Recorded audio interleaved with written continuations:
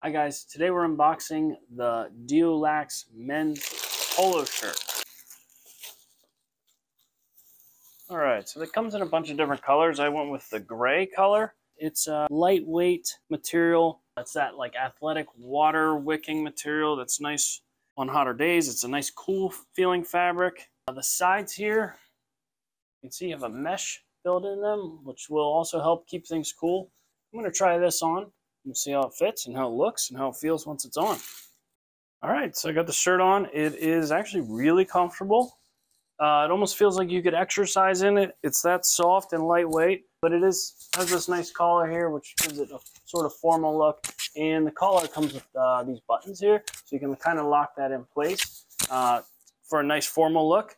Or you can uh, undo that if you wish and uh, let it fall down a little more for a more casual look. So turn around here. But yeah, the fabric is like uh, very stretchy.